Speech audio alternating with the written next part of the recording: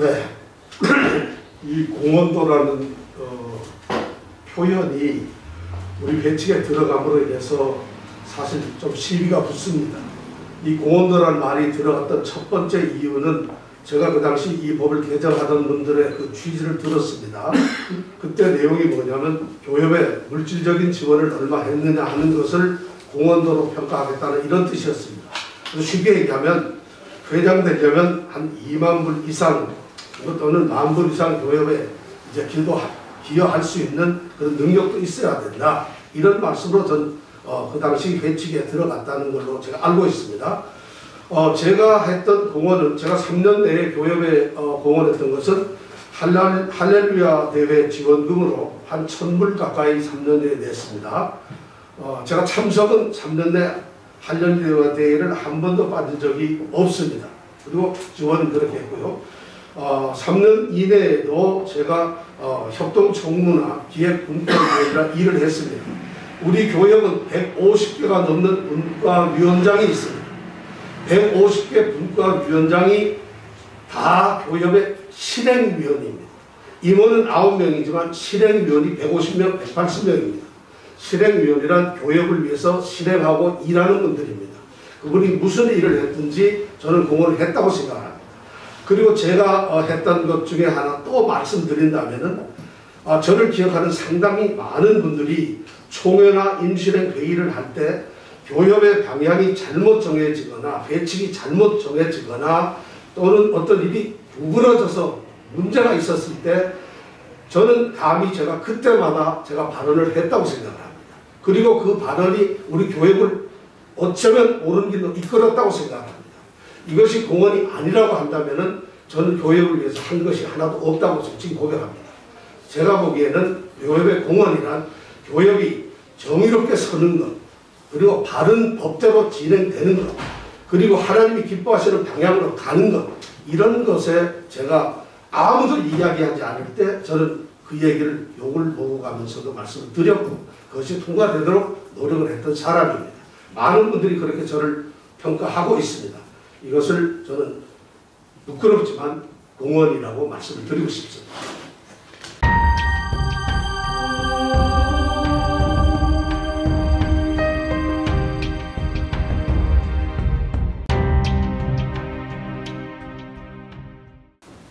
여기 함대가 하나 있으면 말이죠. 이 함대를 운행하는 데는 함장이 필요합니다. 조타수가 필요하고 함대를 늘 닦는 사실은 수병들이 필요합니다.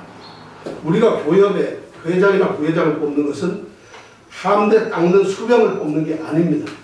조타수를 뽑는 게 아니라 우리가 뽑는 것은 이 함대를 어떤 방향으로 어떻게 끌고 가느냐 하는 함대의 지휘관을 뽑는 겁니다. 우리가 그 다음에 두 번째 어떤 건설 현장에 건축을 하는 현장이 있다면 거기에서 벽돌만 나르는 인부들이 수만 명입니다. 그리고 그 현장을 관리하고 있는 공사 과장들이 수십 명이 있습니다. 그러나 그 현장을 전체 책임지는 것은 현장 소장입니다. 예를 들어서 어떤 분이 벽돌을 한 번도 안 날렸는데 현장에 수고를 하나도 안 했다 그런다면 예를 들어 현장 소장 되시는 분들은 벽돌을 한 번도 날린 적이 없습니다. 그분들. 그러나 그분들은 아침마다 제일 먼저 현장에 나왔고 일이 되도록 돌아보았고 이 현장이 어디로 가는가 하는 것을 늘 책임을 집니다.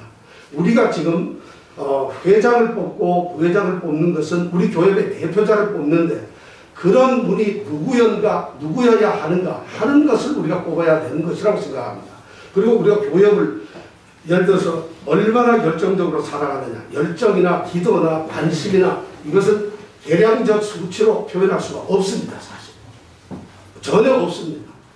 예를 들어서 아들을 사랑하는 게 돈을 주는 것이 아들을 사랑하는 것이 반드시 아니라는 겁니다 그 아들과 같이 영화관에 가는 것이 반드시 아들을 사랑하는 것이 아니라 그 아들을 위해서 통곡하며 우는 아버지의 마음도 아들을 사랑하는 것이고 그 아들을 채찍을 들고 때리는 것도 아들을 사랑하는 것이라는 겁니다.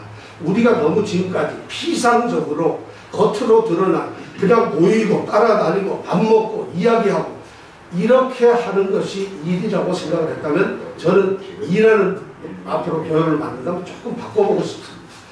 313명 전 회원교회 목사님들이 전부 참여하는 그런 교회를 제가 만들어 보고 싶은 거예요. 왜냐? 사실 상당수의 우리 회원들은 일할 기회가 없어요.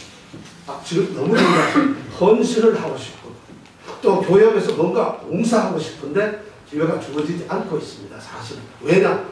아까 어느 분이 말씀하셨는데 임원들, 회장 중에 특정 사람들이 중심이 돼서 운영되기 때문에 그렇습니다.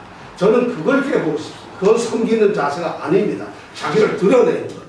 전 교회 회원들이 또 교회는 전 교회 목사님 교회를 위해서 이런 교회를 만들어 보고 싶습니다. 이것이 변명입니다. 네,